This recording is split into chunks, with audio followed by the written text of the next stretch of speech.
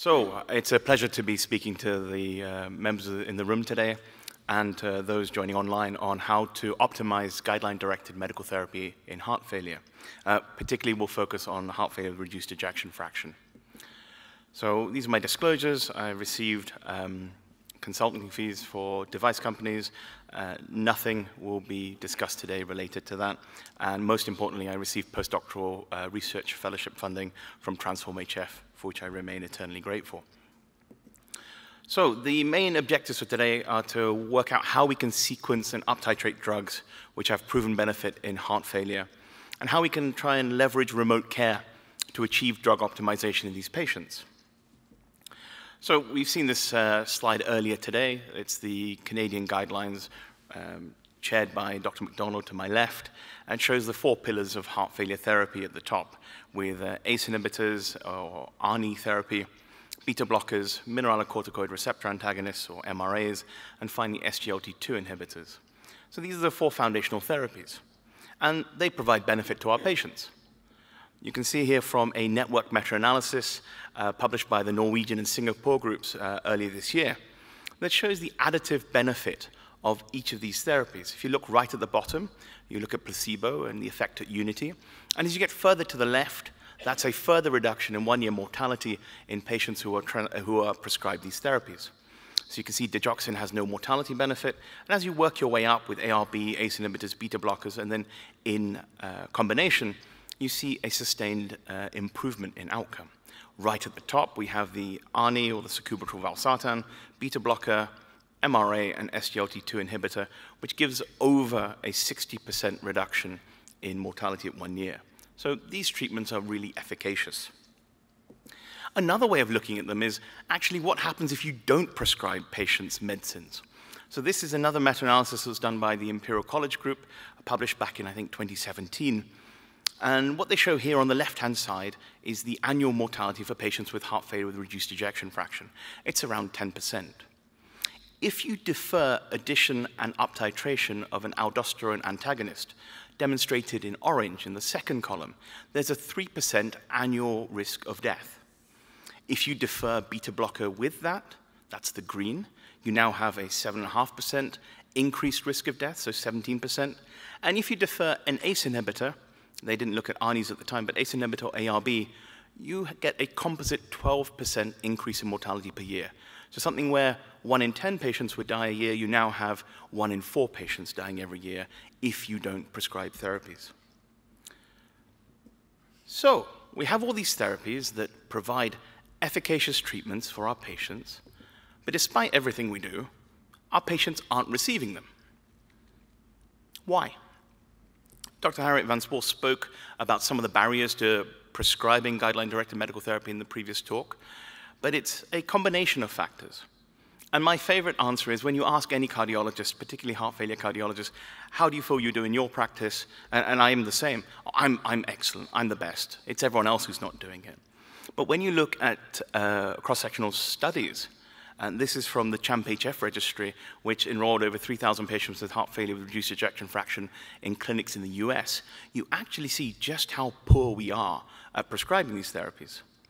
Again, looking on the extreme left-hand side, you can see with ACE inhibitor or ARB prescription, only around 60% of patients are receiving these prescriptions, and around 4 in 10 patients, the red part of the bar, are patients not receiving the medicine and don't have a documented contraindication.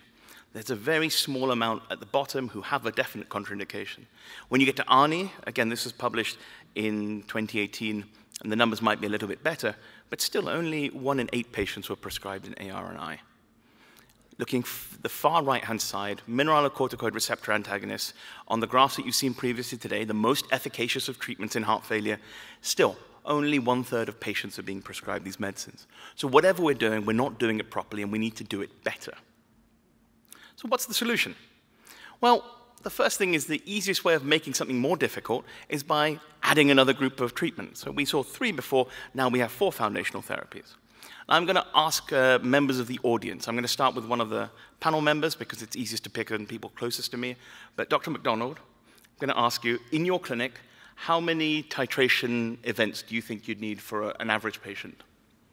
So, so how many visits or contacts do you need to get Yeah. them? Uh, oh, geez, off the top. Um, you know, uh, one, two, three, four, five, six, seven, something like that. Seven. And how frequently would you be able to get patients in to titrate them?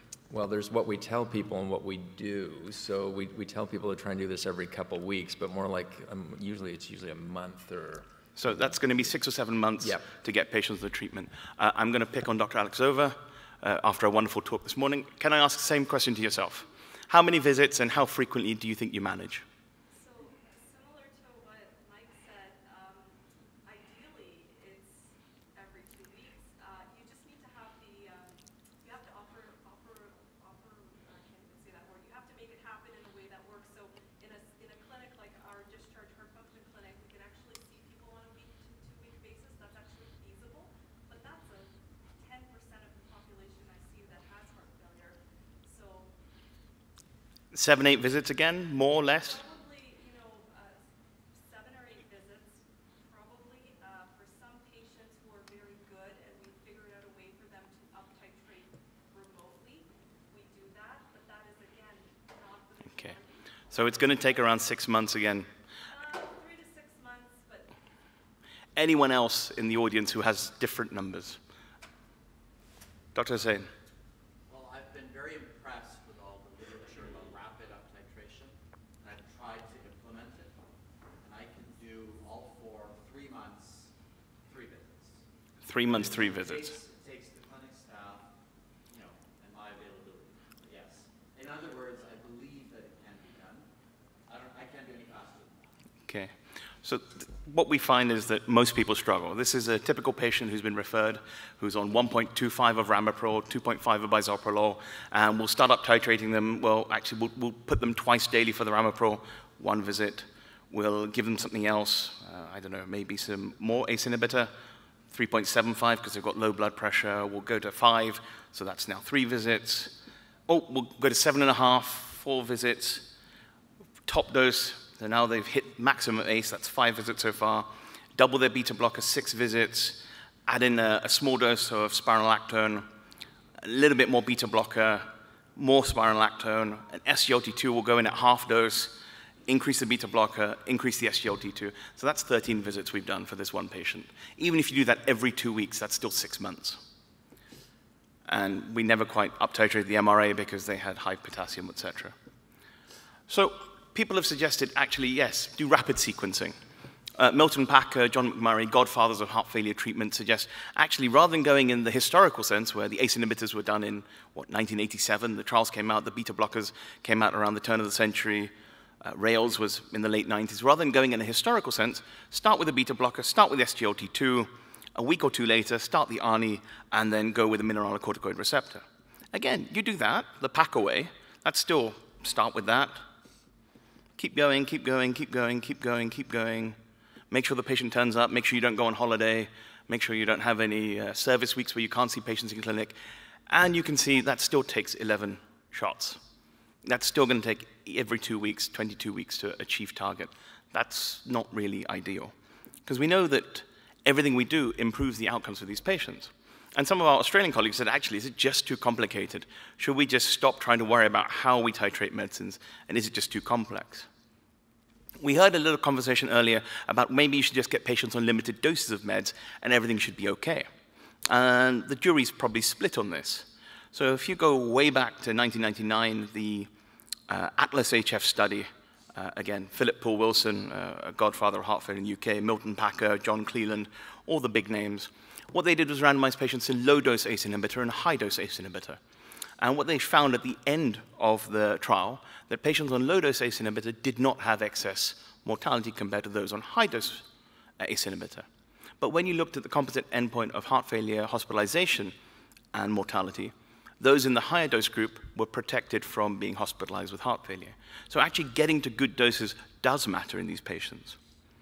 Another study presented recently, I think a, a sub-study of the Prove It trial, looked at real-world evidence in patients treated with an uh, Entresto, with an ARNI. And it's quite a complicated graphic, but at the top line are patients in the lowest tertile of treatment The ones in the middle are in the middle tertile, and the ones at the bottom are the highest doses. And the mean dose for the top group is around 112 milligrams per day, so just over low dose uh, sacubitril valsartan. In the middle group, it's somewhere around 342, so very close to maximum dose. And the last group, it's somewhere near 379 uh, milligrams. And it shows that actually the drop in NT-proBNP is not significantly different from groups.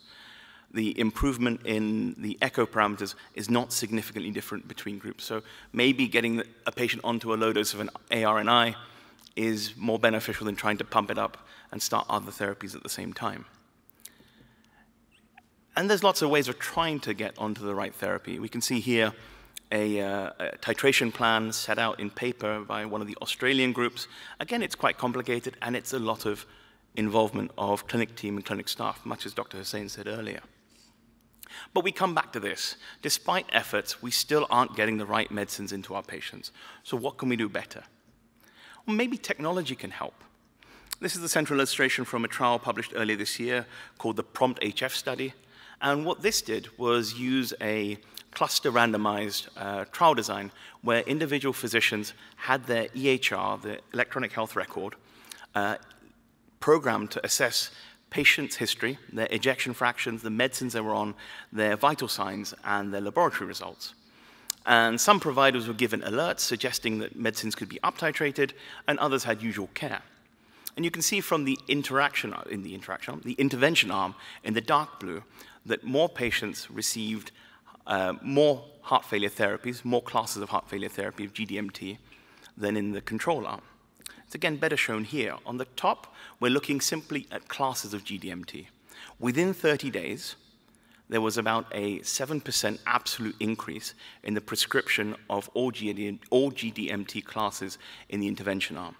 When you look at dose increases and starting of new therapies, that's the bottom graph, you see that there is a significant increase, nearly 10%. So if you prompt clinicians to do the right thing, if you support them in doing the right thing, they're really willing to do the right thing. So we need to work out solutions to, to improve prescription of these medications. And there's a whole series of work. Uh, Stanford are one of the leading groups where they look at uh, behavioral design, how we can get people to do the right thing. Uh, you remember when the COVID restrictions were in, we had those two meter lines on the floor and people would automatically stick to those. That's a simple way of persuasive technology trying to improve behaviors, and we can do that in healthcare too. So that's the website. Have a look. It's very interesting. But can we take it a step further? How can we use perhaps remote technologies to help us in achieve our goal? So I'm going to try and show the results of a study we undertook at Toronto General Hospital. We randomized patients to remote titration of their medicines and others to usual care. In the remote titration arm, patients who were enrolled in a remote monitoring system, the Medly system, which had their vital signs measured and patient symptoms measured, were sent to a nurse coordinator, and every two weeks they would send an email to the physician treating them saying, hey, these are their uh, current medicine levels, these are their blood results, would you like to change any of their uh, therapies? They would make a decision, a go, no go signal essentially, and then the nurse coordinator would put that into action. We compared that with usual care, which was patients coming to clinic visits uh, on an ad hoc basis as per usual physician schedules. And the results are fairly impressive. Looking at the top line alone, you can see those in remote titration achieved uh, the target 98% of the time, whereas only 84% of the usual care did it. In terms of optimization, it took about four months for remote titration compared to six months in usual care. And this is at one of the best performing heart failure centers in the world. So if it takes six months in usual care there, that's the best we're going to hope for. The BNP wasn't different after titration. These medicines didn't work more efficaciously, they just worked earlier. And the same with the LVF, there was about a 10% increase in LV function at the end of it. Most importantly, you can see the total number of heart failure clinic visits was reduced from 3.7 down to 2.2, which is a significant reduction.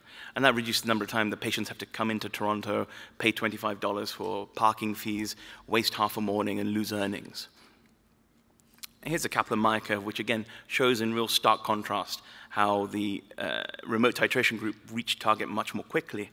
And the key thing to look here is in the blue graph on the right-hand side, 25% of patients were not completing titration after one year in usual care. And there are lots of factors, and we can explore that later, but here we can see how digital health technologies can help.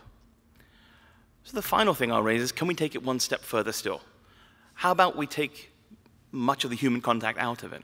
Perhaps we can have auto-titration algorithms where patients put in their parameters and it's set by their physician saying if the blood pressure is above 90 and the creatinine is less than 150, just keep going. Increase the, the prescription of medicines.